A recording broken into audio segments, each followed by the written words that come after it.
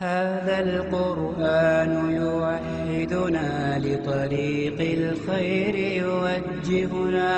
الله تعالى أنزله ورسول الله معلمنا. ورسول الله معلمنا.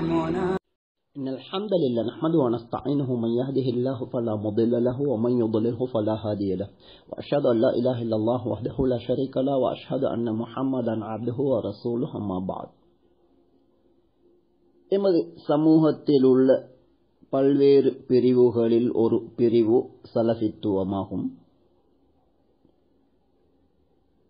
அதிலிருந்து அண்மை காலத்தில் மறந்து மறைந்துவிட்ட ஆலிம் ஒருவரின் ஃபத்துவாவை நபியின் பெயரால் ஒரு செய்தியோடு ஆங்கிலத்திலே வெளியிடப்பட்டிருக்கின்றது. நபியின் பெயரால் பதிவு செய்யப்பட்டுள்ள இந்த செய்தி ஆதாரபூர்வமானதா என்று கேள்வி கேட்கப்பட்டிருக்கின்றது. சத்தியத்தை நிராகரித்து விட்டவர்களின் பெருநாட்கள் உட்பட மகிழ்ச்சியான தினங்களை ஒரு முஸ்லிம் அந்த நிராகரிப்பாளர்கள் போன்று அத்தினங்களை விசேடமாக கொண்டாடக்கூடாது பரிசுகள் பரிமாறக்கூடாது இனிப்பு பரிமாறக்கூடாது என்று இந்த பத்துவாவிலே எழுதப்பட்டிருக்கின்றது. அதற்கு ஆதாரமாக நபியின் பெயரால் பதிவு செய்யப்பட்டுள்ள செய்தி என்னவென்றால் யார் ஒரு கூட்டத்தாருக்கு ஒப்பாகின்றாரோ அவர் அவர்களை சார்ந்தவர். என்று நபியின் பெயரால் இங்கே செய்தி பதிவு செய்யப்பட்டிருக்கின்றது. இது உண்மையான ஹதீசா என்று கேட்டால் நிச்சயமாக கிடையாது. படைத்தவனால் வழங்கப்பட்ட ஒரு முழுமையான வாழ்க்கை முறைதான் இஸ்லாம் ஆகும். படைத்தவர்கள் அல்லாதவர்களிடமிருந்து இது வந்திருந்தால் இதிலே முரண்பாடுகளை நீங்கள் காண்பீர்கள் என்று கண்ணியமிக்க அல்லாஹ் அல் குர்ஆனிலே சொல்லுகின்றான் இஸ்லாத்தை முரண்பாடு இல்லாமல் தெளிவாக விளங்கிய ஒரு ஆலிம் இது ஹதீஸே கிடையாது என்பதை இலகுவாக புரிந்து கொள்ள முடியும். சாதாரண ஒரு முஸ்லிம் கூட புரிந்து கொள்ள முடியும். நபியின் பெயரால் எழுதப்பட்டுள்ள இந்த செய்தி திருமிதி உட்பட பல்வேறு நூல்களிலே பதிவாகி இருக்கின்றது.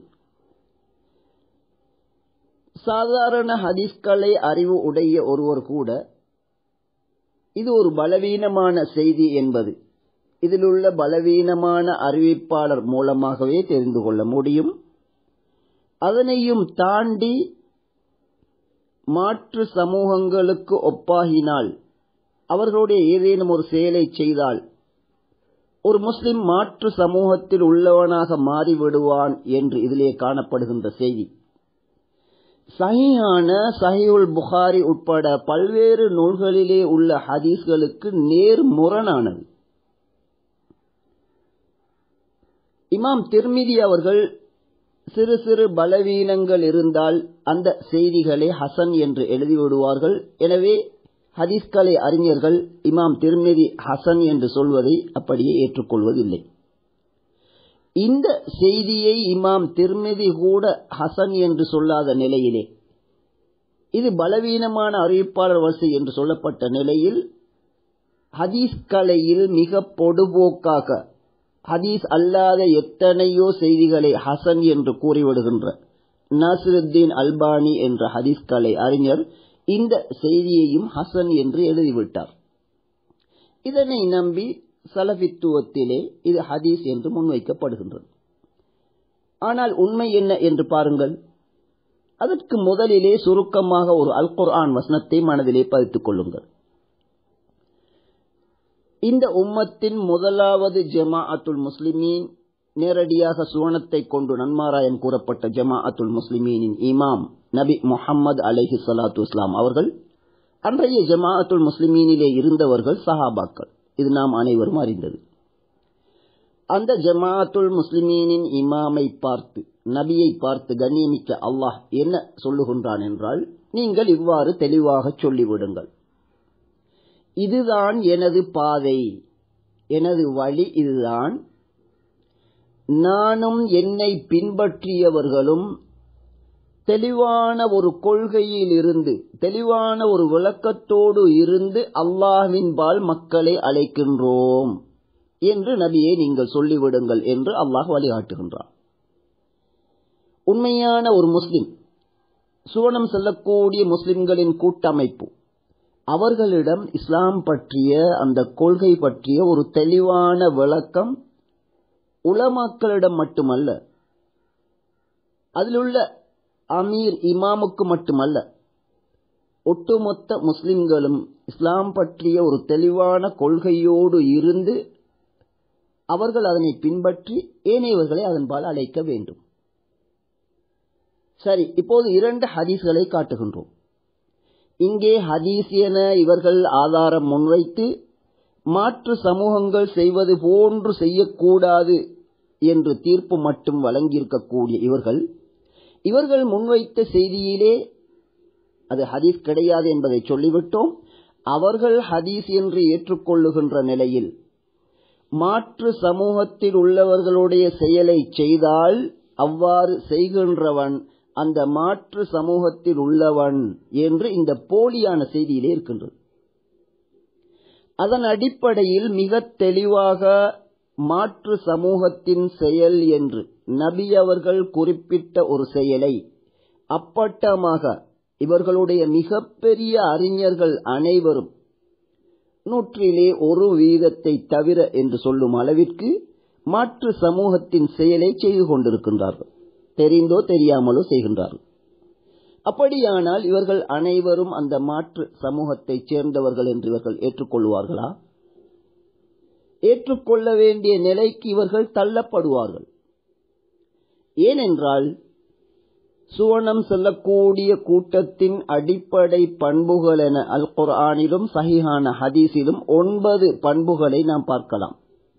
அதிலே ஒன்று நேர்வழியில் நடக்கின்ற கூட்டமாக இருந்தால் அவர்கள் அல்லாஹ் இறக்கிய வகையை கொண்டு மக்களை நேர்வழிப்படுத்துவார்கள். அதில் உள்ள தீர்ப்புகளை சொல்லி அவர்களுக்கு மத்தியிலே நீதம் செலுத்துவார்கள் என்று கண்ணியமிக்க அல்லாஹ் குரானிலே சொல்லுகின்றார் எனவே சரியான ஒரு ஹதீஸ் என்றால் அதிலே என்ன தீர்ப்பு சொல்லப்பட்டிருக்கின்றதோ அதனை அப்படியே மக்களுக்கு சொல்ல வேண்டும். மாற்று சமூகத்தில் உள்ளவர்களுக்கு ஒருவர் ஒப்பாகினால் அவ்வாறு ஒப்பாகக்கூடிய முஸ்லிமும் அந்த மாற்று சமூகத்தை சேர்ந்தவர் என்று இந்த போலியான செய்தியிலே இருக்கின்றதே. அதனை ஹதீஸ் என்று கூறுகின்றீர்களே. அப்படி என்றால் ஒரு முஸ்லிம் மாற்று சமூகத்தில் உள்ளவர்களுடைய ஏதேனும் ஒரு செயலை செய்துவிட்டால் அவனை அந்த சமூகத்தில் சேர்ந்தவர்கள் என்று நீங்கள் தீர்ப்பு வழங்குவீர்களா? அந்த தீர்ப்பு உங்களை நோக்கியே திரும்பி வரும் என்பதற்கு சஹில் புகாரிலிருந்து இரண்டு ஹதீஸ்களை நாம் முன்வைக்கின்றோம். ஒன்று நபி தோழர்களை பார்த்து நபி அலஹி சலாத்து வஸ்லாம் அவர்கள் சொன்னார்கள் உங்களுக்கு முன்னிருந்தவர்களை சான் சானாக முளம் மூலமாக நீங்கள் பின்பற்றுவீர்கள். அவர்கள் உடும்பு பொந்திலே நுழைந்தால் நீங்களும் நுழைந்து விடுவீர்கள். என்று நபி அவர்கள் சொன்னபோது யூத கிறிஸ்தவர்களையா குறிப்பிடுகின்றீர்கள் என்று நபி அவர்களிடம் நபி தோழர்கள் கேட்கின்றார்கள். வேறு யாரைத்தான் கூறுகின்றேன்? என்று நபி அவர்கள் பதிலளிக்கின்றார்கள். இதிலிருந்து நாம் புரிந்து கொள்ள வேண்டிய உண்மை முஸ்லிம் சமூகம் தெரிந்தோ தெரியாமலோ ஏற்கனவே முஸ்லிமாக இருந்து வழிகேட்டில் சென்றுவிட்ட முன்னைய இரு சமூகம். அவர்களுடைய செயல்களை பின்பற்றுவார்கள் அது நடக்கும். இதனை நபி அவர்கள் வெறுத்து எச்சரித்திருக்கின்றார்களே ஒழிய அவ்வாறு மாற்று சமூகத்தில் உள்ள ஒரு செயலை செய்துவிட்டால் அவனே மாற்று சமூகத்தில் உள்ளவனாக ஆகிவிடுவான் என்று நபி அவர்கள் சொல்லவில்லை இஸ்லாம் சொல்லவும் இல்லை. இப்போ ஒரு உதாரணத்தை தருகின்றோம். முடிகள் நரைத்து விட்டால் அது தலைமுடியாக இருக்கலாம் தாடி முடியாக இருக்கலாம்.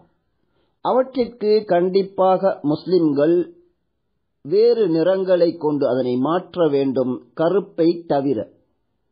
சாஹில் புகாரிலே மூவாயிரத்தி நானூத்தி அறுபத்தி இரண்டாவது இலக்கத்திலே ஒரு ஹதீஸ் பதிவாக இருக்கின்றது யூத கிறிஸ்தவர்கள் இவ்வாறு அவர்கள் நரைத்த முடிகளை நிறத்தை கொண்டு வேறு நிறமாக்குவதில்லை. அவர்களுக்கு மாறு செய்யுங்கள் என நபி அவர்கள் கட்டளையிட்டார்கள்.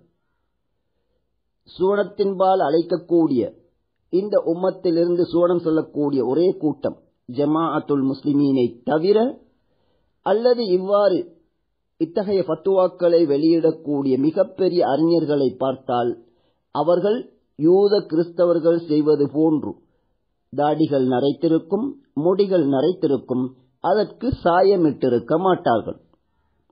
இவ்வாறு இருப்பது யூத கிறிஸ்தவர்களுடைய வழிமுறை. அதற்கு மாறு செய்யுங்கள் என்று சொல்லப்பட்டிருக்கின்றதே. அவ்வாறு மாறு செய்யாமல் வெண்மையான அந்த முடிகளோடு இருக்கின்றவர்கள் யூத கிறிஸ்தவர்களைச் சேர்ந்தவர்கள் என்றும் நீங்கள் தீர்ப்பு வழங்குவீர்களா? என்ற கேள்வி இவர்களை நோக்கி திரும்பும். எனவே உண்மை என்னவென்றால் மாற்று சமூகங்களில் உள்ளவர்களுடைய குறிப்பாக மத ரீதியிலான செயற்பாடுகளை ஒருபோதும் நாம் பின்பற்றக்கூடாது.